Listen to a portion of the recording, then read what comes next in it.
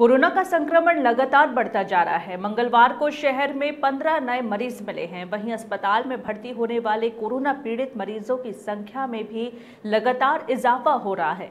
वर्तमान में चार मरीजों को अस्पताल में भर्ती रखकर इलाज किया जा रहा है। वहीं कोरोना एक्टिव मरीजों की संख्या बढ़कर संतानवे हो गई है। इधर प्रदेश में कुल तिरतालीस मरीज़ सामने आए। वहीं सबसे ज़्यादा 18 नए कोरोना संक्रमित मरीज़ इंदौर में मिले हैं।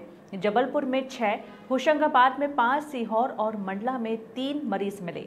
वहीं प्रदेश के कुल दस शहरों में नए मरीज़ मिले और प्रदेश में एक्टिव मरीजों की संख्या बढ़कर तीन सौ इक्यासी हो गई है। सबसे ज़्यादा 120 एक्टिव मरीज़ इंदौर में हैं। वहीं बताने कि भोपाल में दो दिन की राहत के बाद फिर मरीजों की संख्या में इजाफा हुआ है। दो दिन पहले भी मरीजों की संख्या लगातार बढ़ रही थी, फिर संख्या में गिरावट आई, लेकिन अब फिर से कोरोना मरीज़ बढ़ने लगे हैं।